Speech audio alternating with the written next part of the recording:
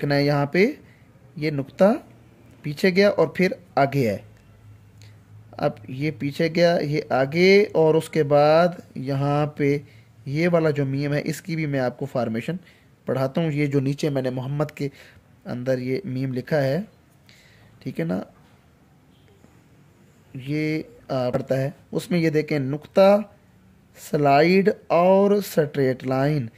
इसको अगर मैं यहाँ से ये डॉट गिराऊं तो ये उल्टा लाम भी बन जाए। अब ये मैंने इसलिए किया क्योंकि कुछ बच्चे जो होते हैं वो यूँ करके मीम लिखते हैं। मीम ऐसे करके भी लिख रहे होते हैं बच्चे। और यहाँ पे कार्नर छोड़ते हैं। तो आपने कार्नर नहीं यहाँ पे वो करना, यहाँ पे गुलाई होती है हमेशा। ये यहाँ पे देखें, ये गुलाई आ रही है ना। आप और भी अगर कोई लफ्स वगैरह मिलाना चाहते हैं तो उनको देखिए मज एक लफ्स है। मीम, ये वही पतली सी स्लाइड नीचे आएगी। और इसके साथ यही जीम लगा दोगे। अब जीम के अंदर मैंने आपको बताया था कि ऐसे आपने शेप ऑफ़ मून लगानी है कि हमारा एग भी बन जाए। बिस्मिल्लाहमान रहीम तमाम स्टूडेंट उम्मीद है आप सब लोग खैरियत से होंगे। आप देख रहे हैं मेरा YouTube channel Khizar writing studio और मैं हूँ खिजर हयात। अच्छा अब गौर से देखना है कि हमने ये जो मीम होता है, बहुत से बच्चे यहाँ पे गलती करते हैं। देखें, एक नुक्ता लगाना पड़ता है और इसके साथ ही नीचे एक स्लाइड आती है। एक नुक्ता लगाएँ, इसके साथ ही नीचे स्लाइड। बहुत से बच्चे, जो मीम होता है, इसको ना पाकिस्तान में बच्चे ठीक लिखते हैं, कश्मीर के मेरे बच्चे हैं, वो भी गलत करके लिखते हैं। वो इस तरह का मीम डालना पसंद करते हैं और इस तरह का मीम वो डालते हैं। तो ये जो है, ये दोनों बदसूरत भी हैं, गलत भी हैं। आपको आज मैं मीम की जो फार्मेशन है, वो जूम करके ज़रा देखें। मीम की फार्मेशन समझाता हूँ अच्छे तरीके से। देखें जी, एक नुक्ता आपने लगाना है, चार कोनों वाला नुक्ता। अब इस नुक्ते के साथ आपने हल्की सी ये देखें, ये पहले ये नुक्ता लगाएँ और ये पीछे गया मार्कर उसके बाद आपने फिर आगे आना है। पीछे जाके फिर आगे आना है, ऐसे करके आपने इसको लिखना है। ये मीम का ये मुँह बन जाएगा। मज़ीद बड़े फॉन्ट में जाते हैं। गौर से देखना है यहाँ पे, ये नुक्ता पीछे गया और फिर आगे है। अब ये पीछे गया, ये आगे और उसके बाद यहाँ पे ये वाला जो मीम है, इसकी भी मैं आपको फार्मेशन पढ़ाता हूँ। ये जो नीचे मैंने मोहम्मद के अंदर ये मीम लिखा है, ठीक है ना? ये आपने इस तरह ये मीम लिखना है और मीम अलिफ मा। इसी को फिर नीचे ले जाएँ और यहाँ पे इसके साथ अलिफ लगा दें। ये माँ बन गया। ठीक है, उसके बाद बाज़ात जो है ना, मीम अकेला लिखना पड़ता है। उसमें ये देखें, नुक्ता, स्लाइड और स्ट्रेट लाइन। इसको अगर मैं यहाँ से ये डॉट गिराऊं तो ये उल्टा लाम भी बन जाए। अब ये मैंने इसलिए किया क्योंकि कुछ बच्चे जो होते हैं, वो यूँ करके मीम लिखते हैं। मीम ऐसे करके भी लिख रहे होते हैं बच्चे।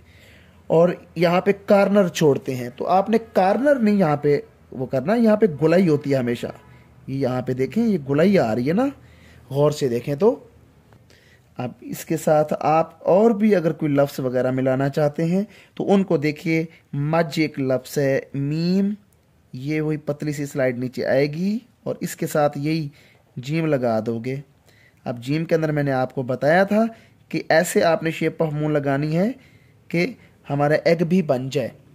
ये शेप ऑफ़ मून की प्रैक्टिस आपने anti clock Y shape of moon की अच्छे से प्रैक्टिस करनी है। दोबारा से देखें इसको मीम और उसके बाद ये शेप ऑफ़ मून। ये मज बन गया। इसी तरह मीम और मीम मम। मीम और ये मीम। मम।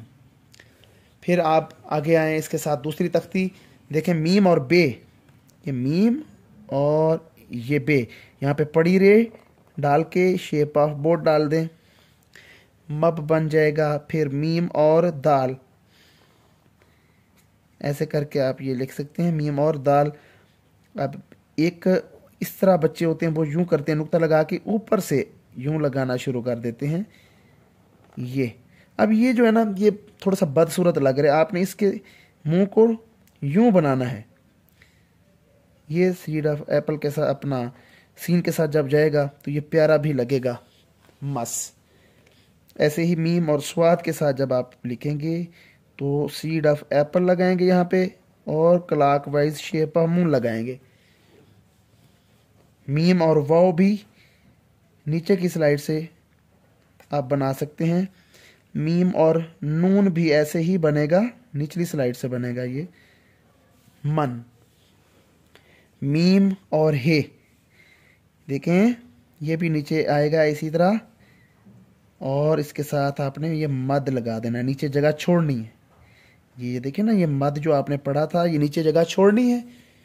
और बाजुकात ये वाला जो मीम होता है ना, जो मोहम्मद के अंदर आया हुआ इसकी फार्मेशन गौर से देखें।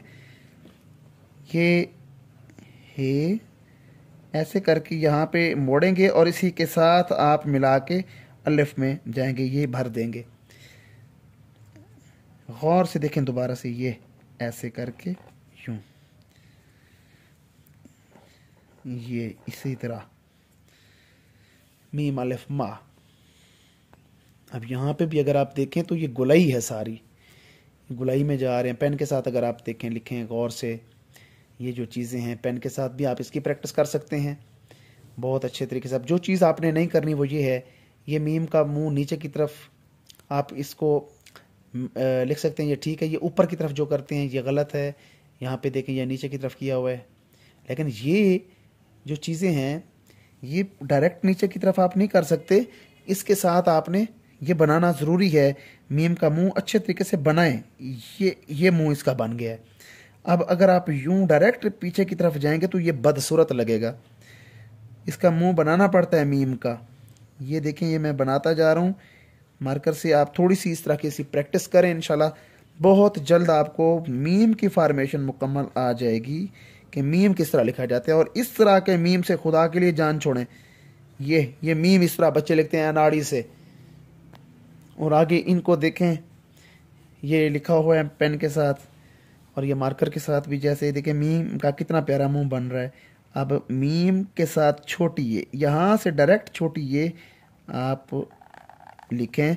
अब अगर मैं मीम को छोड़ दूँ तो ये छोटी ये की फार्मेशन कंप्लीट मेरे पास आ रही है। ये देखें कंप्लीट फार्मेशन छोटी ये की आ रही है। अब कुछ बड़े लफ्स हैं, इनकी प्रैक्टिस कर लेते हैं। एक लफ्स है मुशक्क़त। ये देखें मी काफ और ते।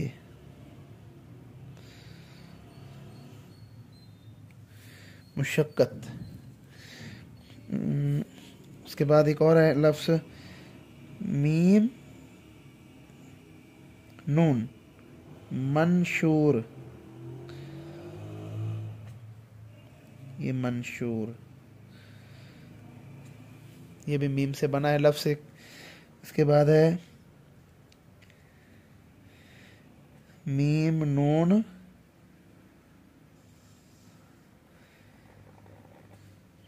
शीन अलिफ शाह, मनशा। बना दिया आप लोगों के लिए।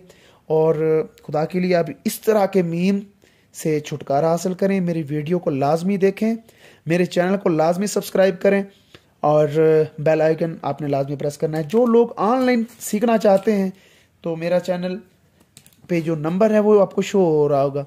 आप वहाँ से मुझसे ऑनलाइन क्लास भी ले सकते हैं। मुनासिब फ़ीस है। और अपना ढेर सारा ख्याल रखिएगा। मिलते हैं नेक्स्ट वीडियो में। तब तक के लिए खुदा हाफिज़।